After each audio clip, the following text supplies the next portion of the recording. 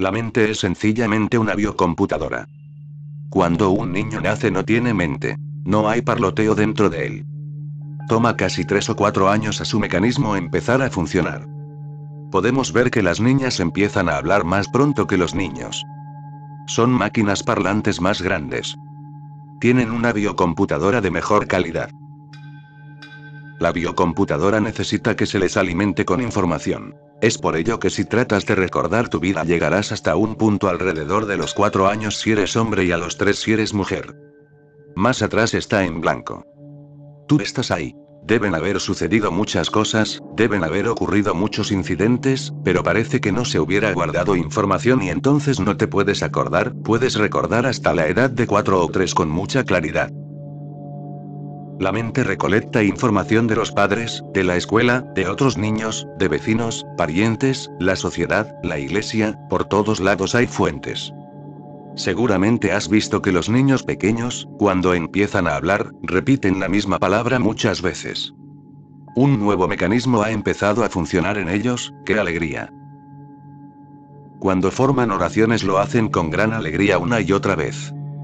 Cuando comienzan a hacer preguntas, preguntan acerca de cualquier cosa. No están interesados en tus respuestas, recuérdalo. Observa a un niño cuando hace una pregunta. No está interesado en la respuesta, así que por favor no le des una respuesta larga de la enciclopedia británica. El niño no está interesado en tu respuesta. Simplemente está disfrutando del hecho de poder preguntar. Una nueva facultad ha empezado a existir en él. Y es así como empieza a recolectar información. Después empezará a leer y aprenderá más palabras. En esta sociedad el silencio no cuenta cuentan las palabras, y cuando mejor sepas hablar más caso te harán los demás. ¿Qué son sus líderes, sus políticos? ¿Qué son sus profesores? ¿Qué son sus sacerdotes, teólogos, filósofos, reducidos a una sola cosa? Son gente que sabe hablar muy bien. Saben utilizar las palabras de manera significativa y consistente, de manera que pueden impresionar a la gente. Raramente se considera que nuestra sociedad esté dominada por completo por gente que sabe hablar bien. Quizá no sepan nada, tal vez no sean sabios, ni siquiera inteligentes, pero hay algo cierto. Saben jugar con las palabras. Es un juego y lo han aprendido, y remunera mucho en respetabilidad, en dinero, en poder, en todos los sentidos. Entonces todo el mundo trata de jugarlo y la mente se llena con muchas palabras, muchos pensamientos. Uno puede prender o apagar su computadora, pero no puede apagar la mente. No hay botón. No hay ninguna referencia de que cuando Dios hizo el mundo, cuando hizo al hombre, haya hecho un botón para poder encender y apagar la mente. No existe tal botón, así que esta continúa desde el nacimiento hasta la muerte. Es sorprendente que la gente que enciende su computadora y la que enciende el cerebro humano tengan una idea tan extraña al respecto.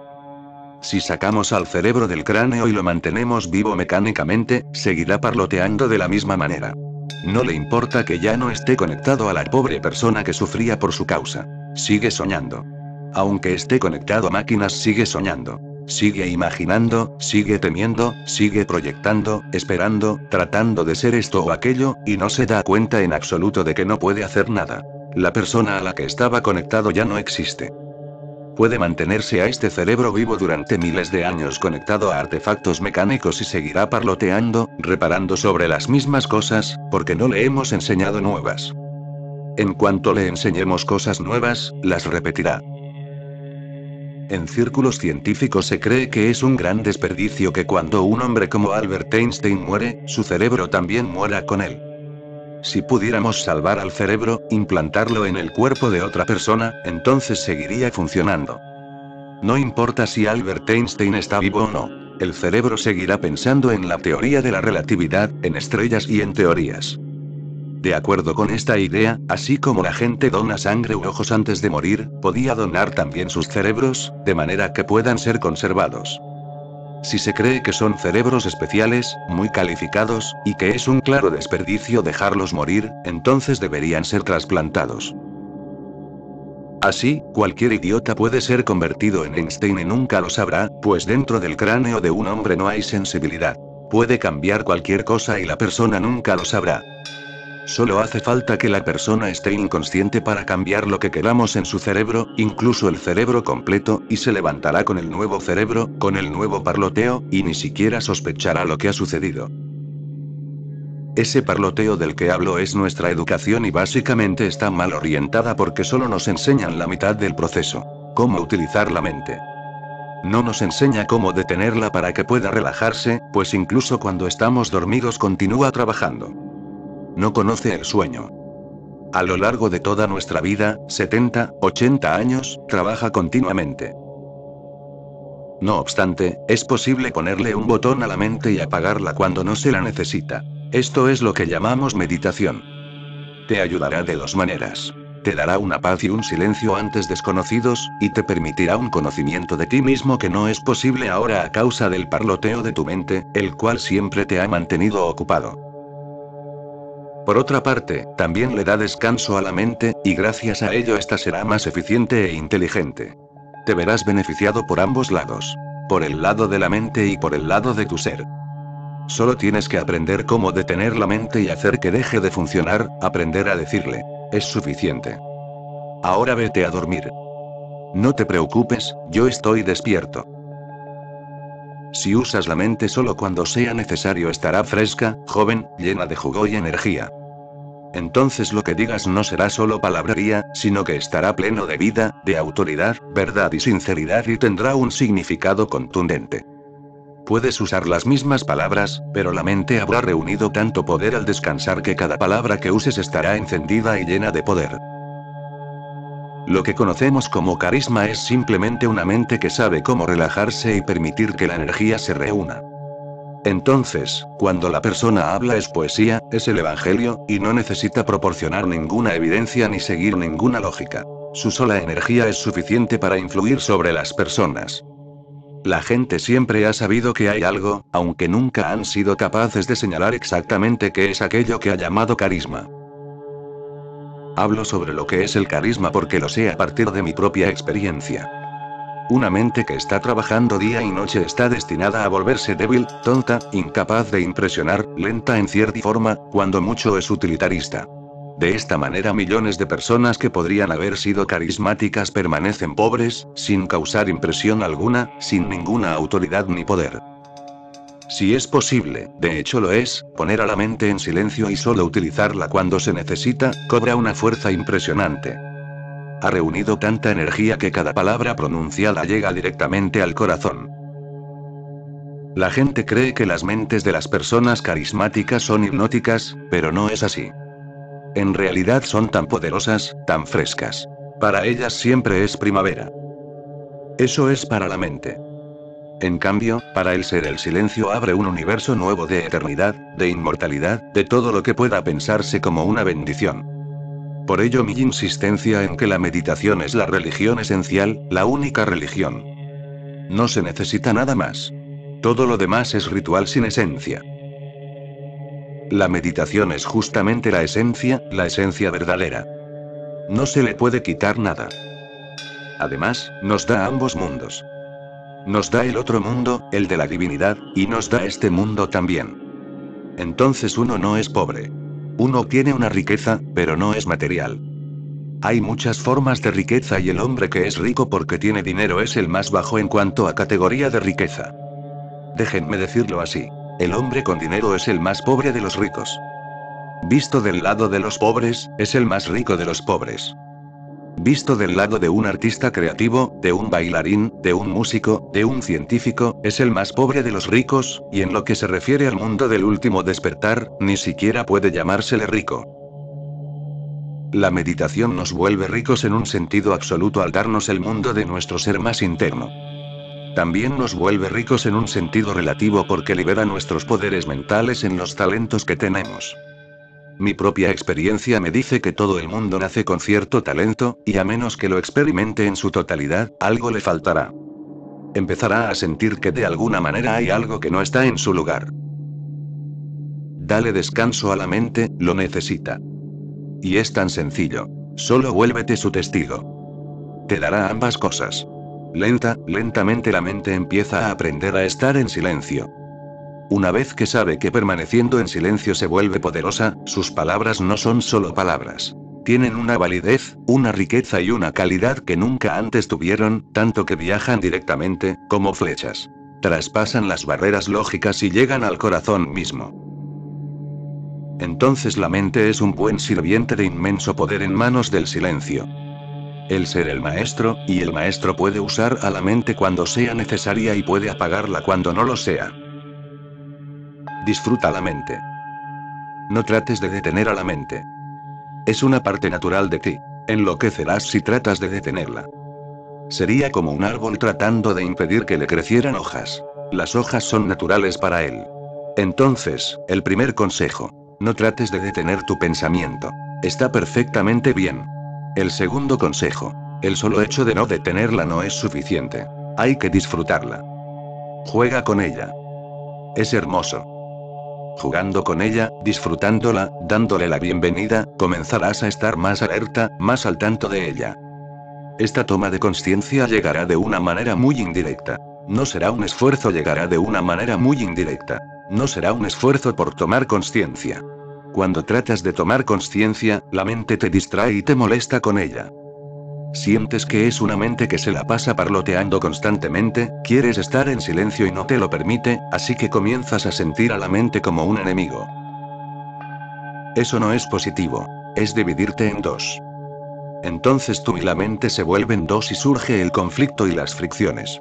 Y toda fricción es suicida porque es perder energía sin necesidad. No tenemos tanta energía como para desperdiciarla en pelear contra nosotros mismos. Esa energía debe usarse para la alegría. Por ello, comienza a disfrutar el proceso del pensamiento. Solo observa los matices de los pensamientos, los giros que toman, cómo una cosa lleva a la otra, cómo se enganchan unos con otros. Es un verdadero milagro que observar. Un pequeño pensamiento puede llevarte al final más alejado, y si observas no verás ninguna relación entre uno y otro. Disfrútala, deja que se convierta en un juego. Juégalo deliberadamente, te sorprenderás. A veces solo disfrutándolo encontrarás pautas hermosas. De repente encontrarás que un perro está ladrando y no está surgiendo nada en tu mente, no origina ninguna cadena de pensamientos. El perro sigue ladrando y ti sigues escuchando y no surge pensamiento. Surgirán pequeñas discontinuidades, pero no tendrán futuro. Llegan por sí solas y cuando vienen son hermosas. Y justo en esos pequeños huecos empezarás a observar al observador, pero eso será natural. Nuevamente empezarán los pensamientos y los disfrutarás. Hazlo con tranquilidad, tómalo con calma. La conciencia llegará a ti pero llegará indirectamente. Observar, disfrutar, dejar a los pensamientos jugar su papel, es tan hermoso como ver al mar con sus millones de olas. La mente también es un mar y los pensamientos son olas. No obstante, la gente va y disfruta de las olas del océano y no disfruta de las olas de su conciencia. Transforma la mente. Siempre que quieras cambiar un patrón de la mente que se ha convertido en un hábito duradero, la respiración es lo mejor. Todos los hábitos mentales están asociados con el patrón de respiración. Cambia el patrón de respiración y la mente cambiará inmediatamente, instantáneamente. Inténtalo. Siempre que observes que esté surgiendo en ti un juicio y que estés cayendo en un viejo hábito, exhala inmediatamente, como si estuvieras tirando el juicio con la exhalación. Exhala profundamente, jalando el estómago y, conforme sacas el aire, siente o visualiza cómo todo el juicio está siendo expelido. Después inhala profundamente dos o tres veces. Simplemente ve qué pasa. Sentirás una frescura completa el viejo hábito no habrá logrado tomar posesión. Comienza con la exhalación, no con la inhalación. Cuando quieras absorber algo, empieza con la inhalación. Cuando quieras deshacerte de algo, comienza con la exhalación. Solo mira la manera inmediata en que es afectada la mente. Inmediatamente verás que ésta se ha movido a otro lugar. Ha llegado una nueva brisa. No te encuentras en la vieja rutina así que no repetirás el viejo hábito. Esto sucede con todos los hábitos. Por ejemplo, si fumas y sientes la necesidad de fumar pero no quieres, inmediatamente exhala profundamente y expele la necesidad. Respira profundamente y verás que la necesidad ha desaparecido de manera inmediata. Esta puede convertirse en una herramienta sumamente importante para el cambio interno. canta aún. Cuando sientas demasiada perturbación alrededor o que tu mente está demasiado distraída, simplemente canta aún. Toma la costumbre de al menos 20 minutos por la mañana y 20 minutos por la noche de sentarte en silencio en una postura cómoda y, con los ojos semiabiertos, simplemente mira hacia abajo. La respiración debe ser lenta y el cuerpo no debe moverse. Empieza a cantar aún en tu interior. No hay necesidad de decirlo en voz alta. Será más penetrante con los labios cerrados. Ni siquiera la lengua debe moverse. Repite aún rápidamente. Aún, aún, aún rápida y fuertemente pero dentro de ti. Solo siente que está vibrando por todo el cuerpo. De los pies a la cabeza, de la cabeza a los pies. Cada aún cae en tu conciencia como una roca echada a un pozo. Surgen pequeñas olas y se distribuyen por todos lados. Las olas continúan expandiéndose y tocan todo el cuerpo. Al hacer esto habrá momentos, y serán los momentos más hermosos, en los que no estarás repitiendo nada y todo se habrá detenido. De repente te darás cuenta de que no estás cantando y que todo se ha detenido. Disfrútalo. Si empiezan a llegar pensamientos comienzan nuevamente a cantar. Cuando lo hagas de noche, hazlo al menos dos horas antes de acostarte. Si en cambio lo haces justo antes de ir a la cama no podrás dormirte porque te habrá refrescado de tal manera que no tendrás sueño. Sentirás como si fuera de mañana y hubieras descansado bien, así que no tendrá sentido dormir. Puedes hacerlo rápido, o bien encontrar tu propio paso. Después de dos o tres días encontrarás el ritmo que se acomode a ti. A algunas personas les acomoda hacerlo muy rápido, aún, aún, aún, casi solapándose. A otros les acomoda hacerlo muy despacio. Depende de ti. Hazlo de la manera que más te acomode. Ten cuidado con el no. La mente siempre funciona de manera negativa. La función de la mente es precisamente negar, decir no. Solo obsérvate y mira cuántas veces dices no durante el día y reduce esa cantidad. Mírate y observa cuántas veces dices sí e incrementa esa cantidad. Poco a poco irás viendo un pequeño cambio en la cantidad de sí y no, y tu personalidad estará cambiando desde la base. Observa cuántas veces dices no cuando sí podría haber sido más fácil, cuando en realidad no había necesidad de decir no. ¿Cuántas veces podrías haber dicho sí pero dijiste no o te quedaste callado? Siempre que dices sí eso va contra tu ego. El ego no puede comer sí, se alimenta de no. Di no. No. No. Y surgirá un gran ego dentro de ti. Simplemente ve a la estación de tren. Puedes estar solo frente a la ventanilla para comprar un boleto, pero el empleado empezará a hacer algo, no te hará caso. Está tratando de decir no. Te hará esperar, simulará que está muy ocupado, revisará su registro y te obligará a esperar. Eso da una sensación de poder, de que él no es un empleado ordinario. Puede hacer esperar a cualquiera. La primera cosa que te viene a la mente es no. Sí es casi difícil. Solo dices sí cuando te sientes totalmente desamparado y tienes que decirlo. Solo obsérvalo. Conviértete en alguien que dice sí. Deja de decir no, pues es del veneno del no de lo que se alimenta el ego, de lo que se nutre. Muévete de la cabeza al corazón. Sentir es la vida verdadera. Pensar es ficticio porque siempre es acerca de algo. Nunca es la vinculación con la cosa en sí. No es pensando en el vino como te intoxicas, sino bebiéndolo. Puedes ponerte a pensar en el vino, pero con solo pensar en él jamás te intoxicarás. Tienes que beberlo, y el beberlo sucede a través del sentimiento. Pensar es un pseudo actividad, una actividad sustituta. Te da una percepción falsa de que algo sucede, pero no sucede nada. Entonces pasa de pensar a sentir, y la mejor manera será empezar respirando desde el corazón. Durante el día, tantas veces como te acuerdes, simplemente respira profundamente. Siente cómo la respiración golpea justo a mitad del pecho. Siente como si toda la existencia estuviera fluyendo hacia tu interior, en el lugar donde está el centro de tu corazón. Varía según la persona. En general está hacia la derecha. No tiene nada que ver con el corazón físico. Es una cosa totalmente diferente. Pertenece al cuerpo sutil. Respira profundamente, y siempre hazlo al menos cinco veces. Inhala y llena el corazón. Solo siente en el centro la manera en que la existencia está fluyendo a través del corazón. vitalidad, vida, lo divino, la naturaleza. Todo está entrando. Entonces exhala profundamente, otra vez desde el corazón, y siente que vuelves a lo divino, a la existencia, todo lo que se te ha dado. Hazlo varias veces al día, pero siempre que lo hagas respira cinco veces seguidas. Esto reayudará a pasar de la cabeza al corazón. Te volverás más sensible, más consciente de muchas cosas de las que no lo estabas. Vas a oler más, gustar más, tocar más. Vas a ver más y a oír más. Todo se volverá intenso. Entonces muévete de la cabeza al corazón y todos tus sentidos se volverán luminosos de repente. Sentirás cómo la vida realmente vibra dentro de ti, lista para saltar y fluir. Consejo de sonido. Hay un sonido de felicidad constantemente en tu interior, como en el interior de todo mundo. Solo tenemos que permanecer en silencio para escucharlo. Como la cabeza es demasiado ruidosa, no puede oír la voz baja y pequeña del corazón. A menos que todo esté en silencio nunca la escuchas, pero es la conexión entre tú y la existencia.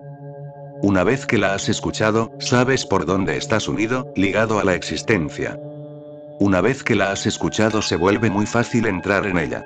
Entonces puedes concentrarte y entrar con facilidad, y siempre que lo hagas te rejuvenecerá, te dará una fuerza tremenda y te hará estar más y más vivo. Si una persona es capaz de entrar una y otra vez en este sonido interior, nunca pierde la pista de lo divino. Puede vivir en el mundo y mantenerse en contacto con lo divino. Es posible aprender poco a poco la habilidad hasta que incluso en el mercado pueda uno escucharlo. Una vez que sabes que está ahí, no es difícil escucharlo. Ni siquiera todo el ruido del mundo puede impedirte que lo escuches. El problema es solo escucharlo por primera vez, pues uno no sabe dónde está ni qué es ni cómo permitirlo. Todo lo que se necesita es volverse más y más silencioso. Siéntate en silencio. Cuando tengas tiempo, por una hora al día, no hagas nada. Siéntate y escucha. Escucha los sonidos que hay alrededor, sin ningún propósito particular, sin ninguna interpretación acerca de qué significan. Solo escucha sin razón alguna. Hay un sonido, así que hay que escucharlo. De manera muy, muy lenta la mente empieza a quedar en silencio. Se escucha el sonido pero la mente ya no está interpretándolo, ya no está apreciándolo, ni pensando en él. De repente cambia la estructura. Cuando la mente está en silencio, escuchando los sonidos de fuera, se oye de repente un sonido que no viene del exterior sino del interior. Una vez que lo has escuchado, tienes el hilo de Ariadna en las manos. Solo sigue el hilo, adéntrate más y más en el sonido. Hay un pozo muy profundo en el ser de cada persona y aquellos que saben cómo entrar en él viven en un mundo totalmente diferente, en una realidad aparte. Cambio de engranes. Uno debe cambiar continuamente de actividad porque el cerebro tiene muchos centros. Por ejemplo, si haces matemáticas, una cierta parte del cerebro funciona y lo demás descansa. Si lees poesía la parte que estaba funcionando en matemáticas descansa y otra parte empieza a funcionar. Por ello en las universidades y escuelas cambiamos de materia después de 40 o 45 minutos. Porque cada centro del cerebro tiene la capacidad de funcionar durante 40 minutos. Después se siente cansado y necesita reposar, el mejor descanso es cambiar el trabajo de manera que empiece a trabajar otro centro y ese se relaje. Entonces el cambio continuo es excelente. Te enriquece. Lo común es que hagas algo y la mente se obsesione. Lo buscas locamente. Eso no ayuda. Uno no debe dejarse poseer tanto al hacerlo. Absórbete, pero siempre mantente como un maestro, si no te convertirás en un esclavo. Incluso la esclavitud a la meditación no es positiva. Si no puedes dejar de hacer algo o te cuesta mucho trabajo, es simplemente una muestra de que no sabes cómo cambiar los engranes de la mente. Entonces haz lo siguiente. Siempre que estés haciendo algo, por ejemplo, estás meditando y quieres hacer otra cosa, cuando termines de meditar simplemente exhala tan profundamente como puedas durante 5 minutos. Después deja que el cuerpo inhale. No inhales tú. Ten la sensación de que estás sacando todo lo que había en la mente, el cuerpo y el resto de tu sistema. Hazlo solo durante 5 minutos, después empieza a hacer algún otro trabajo. Inmediatamente sentirás que has cambiado. Necesitas un engrane neutral durante 5 minutos. Para cambiar las velocidades en un coche, primero hay que llegar el engrane a neutral. aunque sea para un solo movimiento, hay que hacerlo.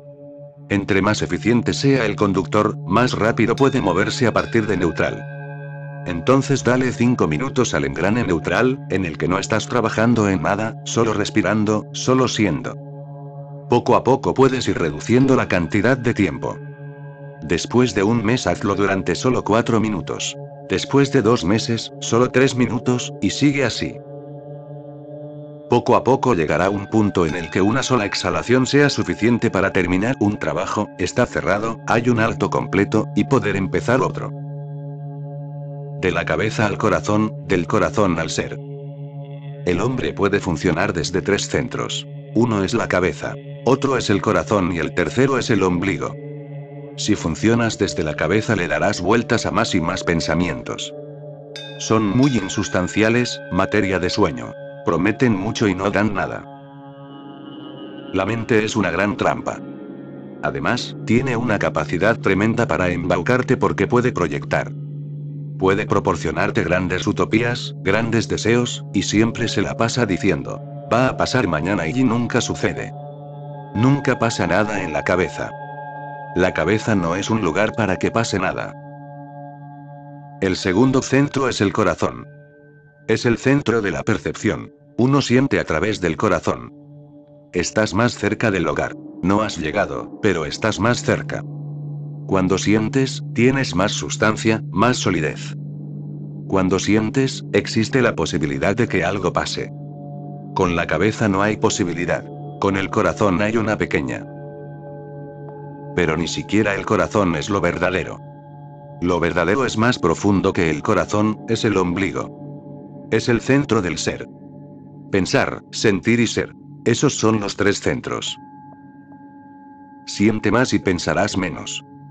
No luches contra el pensamiento porque luchar contra el pensamiento es crear otros pensamientos, de lucha. Entonces la mente no es derrotada. Si ganas, es la mente quien ha ganado. Si pierdes, eres tú el que pierde. De cualquier manera eres derrotado, así que nunca luches contra los pensamientos, es en vano. En lugar de luchar contra los pensamientos, mueve tu energía hacia sentir. Canta en lugar de pensar, ama en vez de filosofar, lee más poesía que prosa. Baila, observa la naturaleza y hagas lo que hagas, que sea a partir del corazón. Por ejemplo, si tocas a una persona, tócala desde el corazón. Toca sintiendo, permite que tu ser vive. Cuando mires a alguien que no sea con una mirada sin vida, pasiva. Permite que fluya la entrega a través de tus ojos e inmediatamente sentirás que algo está sucediendo en el corazón. Es solo cuestión de intentarlo. El corazón es el centro negado. Una vez que empiezas a prestarle atención, comienza a funcionar. Y cuando esto ocurre, la energía que se movía en la mente de manera automática comienza a moverse a través del corazón, y el corazón está más cercano al centro de energía, el ombligo. Así que enviar energía a la cabeza es un trabajo difícil.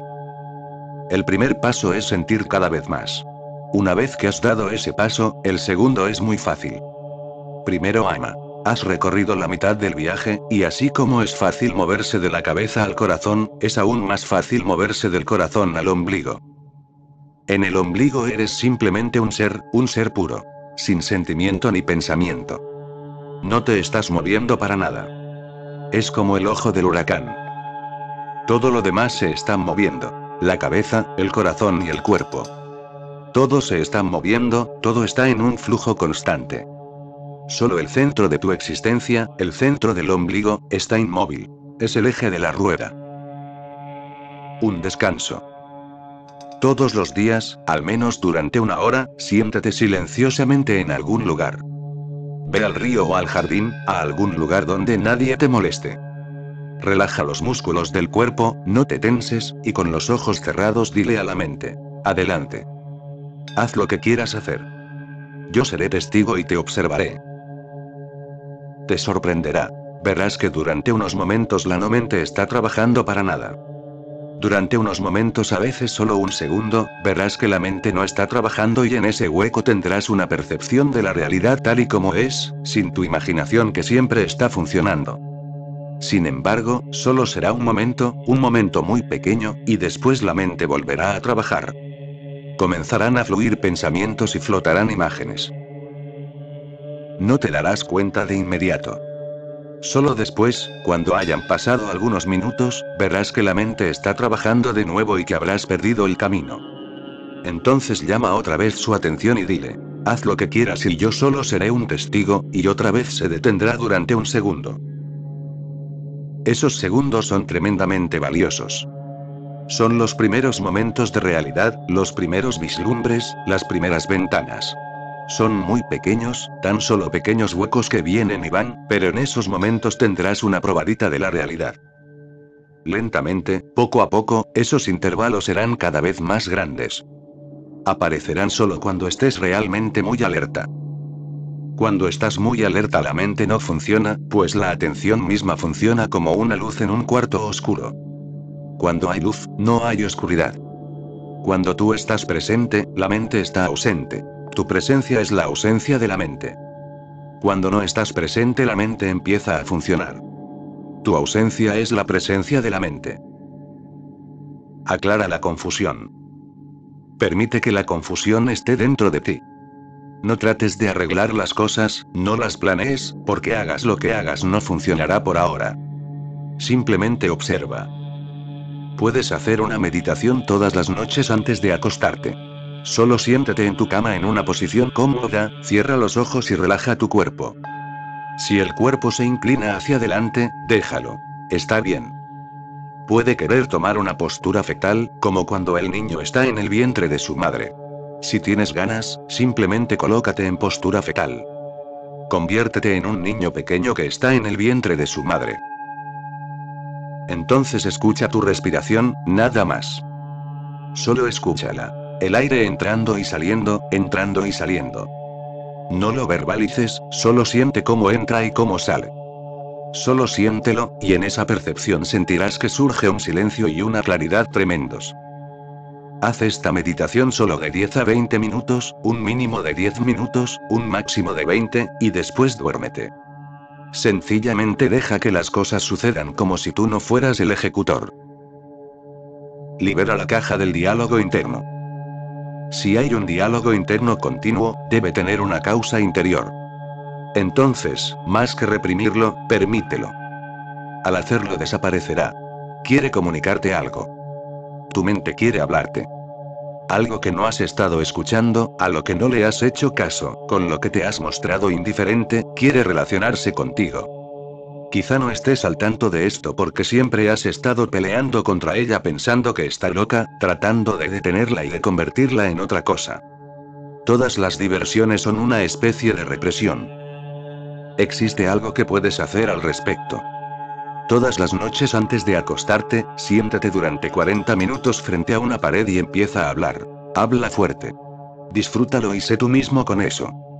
Si encuentras que hay dos voces, habla desde ambos lados. Apoya a un lado y luego responde desde el otro y observa cómo puedes crear un diálogo hermoso. No trates de manipularlo, porque no lo estás diciendo para nadie. Si se vuelve loco, déjalo ser. No trates de cortar ni censurar nada, pues se perdería todo el sentido.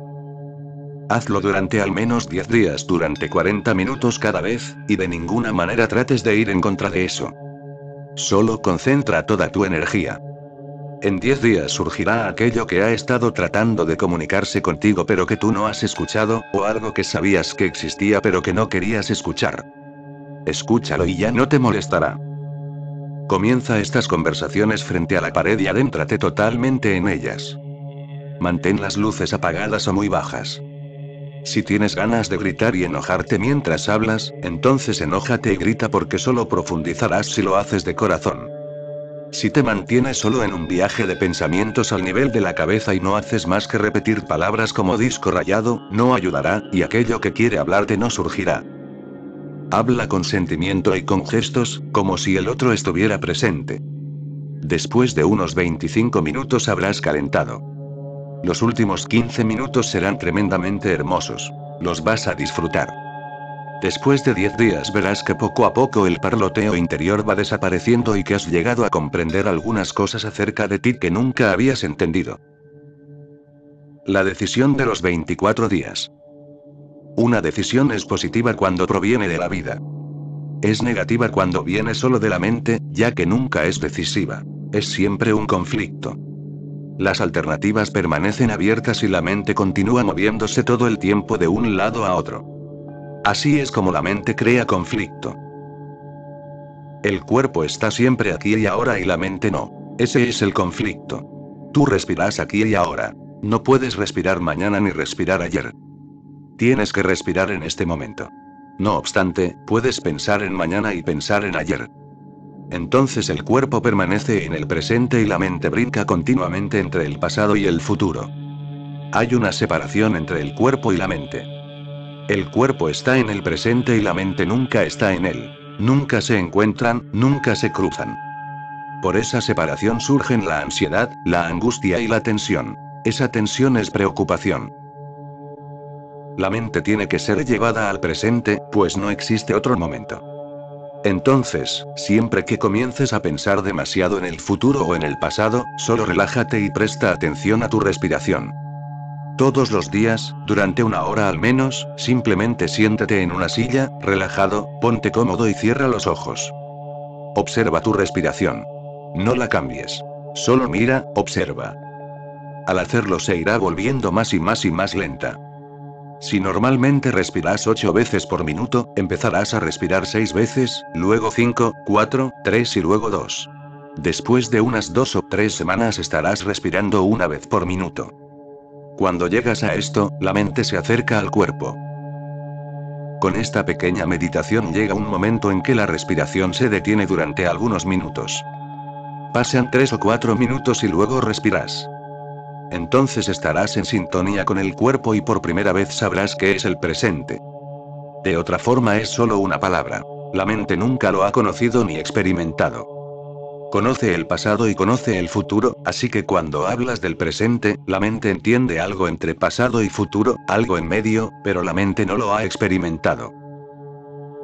Entonces, durante 24 días, por una hora diaria, relájate con la respiración y déjala ser. Ella fluye automáticamente. Cuando caminas respiras automáticamente. Muy, muy lentamente, habrá huecos, y esos huecos te darán la primera experiencia del presente. A partir de esos 24, 25 días, de pronto surgirá una decisión. Es indiferente qué decisión surja. Lo más importante es de dónde venga, no qué es, sino de dónde viene. Si viene de la cabeza traerá disgustos, pero si surge de tu totalidad jamás te arrepentirás ni por un momento. Una persona que vive en el presente no conoce el arrepentimiento. Nunca mira hacia atrás. No cambia su pasado y sus memorias y no prepara su futuro. Una decisión desde la mente no es algo placentero. La misma palabra decisión significa decisión. Te separa. No es una palabra positiva. Simplemente significa que te separa de la realidad. La mente te separa continuamente de la realidad. Vuela en primera clase. No podrás encontrar una mejor situación para meditar que al volar a una gran altura. Cuanto mayor sea la altura, más fácil será la meditación. Por ello, a lo largo de los siglos quienes meditan han viajado a los Himalayas para encontrar una gran altura. Cuando tu gravitación es menor y la Tierra está muy lejos, muchas de las atracciones de la Tierra están muy lejanas. Estás lejos de la sociedad que el ser humano ha construido. Estás rodeado de las nubes, las estrellas y la luna, el sol y el vasto espacio. Entonces haz una cosa. Comienza a sentirte uno con la vastedad y hazlo en tres pasos. El primer paso es que, durante unos minutos, piensa que estás volviéndote más grande, que estás llenando todo el avión en el que te encuentras. El segundo paso es que comiences a sentir que te vuelves aún más grande, más grande que el avión mismo. De hecho, el avión está dentro de ti ahora. Y el tercer paso es sentir que te has expandido a todo el cielo. Ahora estas nubes que se están moviendo, y la luna y las estrellas, se están moviendo dentro de ti. Eres inmenso, ilimitado. Esta sensación se convertirá en tu meditación, y te sentirás completamente relajado y sin tensión.